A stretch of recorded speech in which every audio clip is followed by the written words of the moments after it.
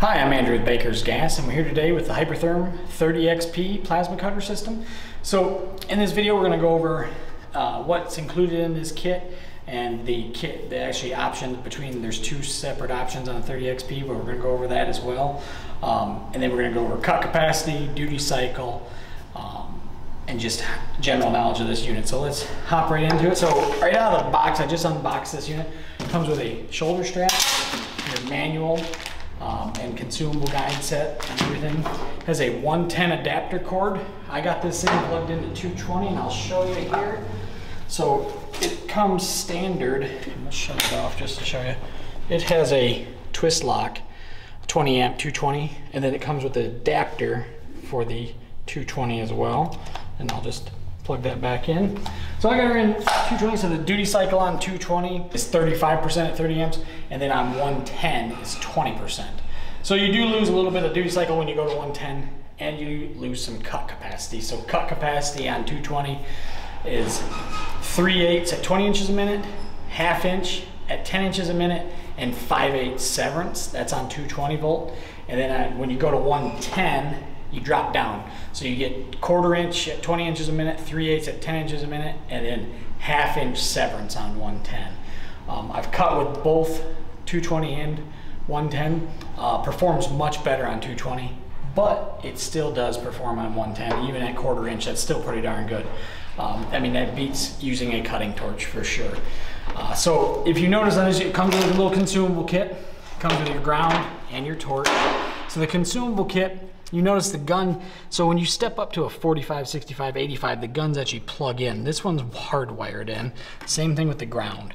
Um, very light unit, very portable. So there's, like I said, there's two options in this. So this is the 30XP with the Hypertherm Powermax sticker on the side. There's a We Build America edition. It's a different decal. Um, on the front of this unit, you can see pretty simple, not a digital display, um, but it gives you your rating. So 240, 20 amp, 120, 20 amp, 124, 15 amp. So we got 15 amps on our cutting all the way to 30. It was already already rated for 30, but you can see 120 and 20 amp. It gives you the blue range of what you can go up to on on the 120 when you're plugged into 120 um, or 110.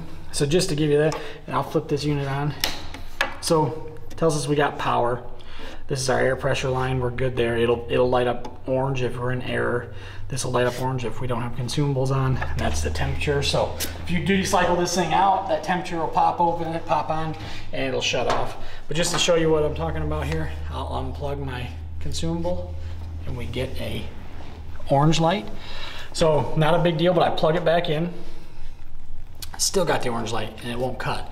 So the biggest thing is just cycle power and it'll clear that error code and then you're good to go. So when you change out consumables, just remember you gotta clear the error code by on off that switch. So to go over consumables this thing has, now I do have a consumable kit that we offer with this unit. Um, I'll go over that too, but I'm just gonna pull this off, show you here. So on the inside we got our, we got our shield, retaining cap, our nozzle, our electrode, and then our swirl ring. So all those consumables, five pieces, go together to make one unit. So I'm, I'll put them all back together. So we got our shield here, goes on. Got our nozzle. Now you can see that's been used once before. They test these from factory. So that's the factory test nozzle. We'll drop it down in, drop the electrode in, drop the swirl ring in, and then it all goes back together on the unit. We're good to go. Cycle power. And there's our code. So pretty simple how everything goes together. Consumable kit that we offer up comes in a nice package. Um, this is the 30XP package. So I'll open that up. We got a little sticker there. But we got seven electrodes, seven nozzles, two, two shields here. One is a um, a non-drag shield, one's a drag shield. We got one swirl ring, one retaining cap. Comes with three fine cut nozzles. So what the fine cut does is it tapers the, uh, the plasma down and it makes a finer cut for your consumable. So if you're cutting quarter inch and you want a fine cut, or it, it just narrows the um, cut kerf on your when you're cutting steel. So pretty sweet.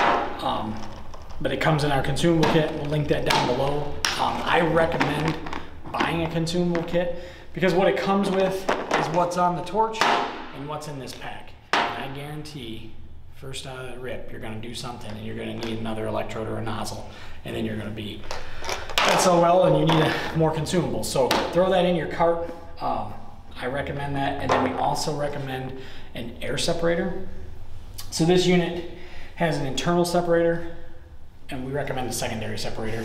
Obviously not like the 45XP where we can clean out our separator. This one you cannot, but we recommend running an air separator. So that pulls moisture, oil, that sort of thing out of the out of your compressed air. Um, you do need a four cubic feet per minute air compressor. I got this thing hooked up to a 20 gallon, four cubic feet per minute, 90 PSI. This requires 85 PSI. It's perfect, um, perfect match on that. I would recommend if you're gonna run this off a generator, at least 10,000 watts um, to run this unit on 220 uh, to get maximum performance out of it. That's just my recommendation. But I, have heard people running in on lower generators, but just to recommend 10,000 watt would be sufficient.